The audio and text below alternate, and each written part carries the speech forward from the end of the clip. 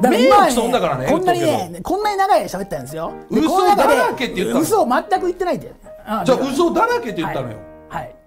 名誉毀損だよ。俺嘘なんか言ってないから。あじゃあそれを。訴えてやれよほんならもう。それの名誉毀損で。いいじゃんそれで。君が文章でそれで法廷に出したらいいんでしょ？法廷に間が裁判官がいないと文章のキャッチボールしてもどっちが正しいかわからないそから。もそもあのねあの嘘をどうこうってだからもう言い始め高橋さんじゃないですか。もう子供みたいなこと言いなや裁判文章でやりたいって間に裁判所通したらいいんでしょ？めっちゃ簡単じゃん。名誉毀損だよ。いやいや。嘘ついてないのに嘘だらけ。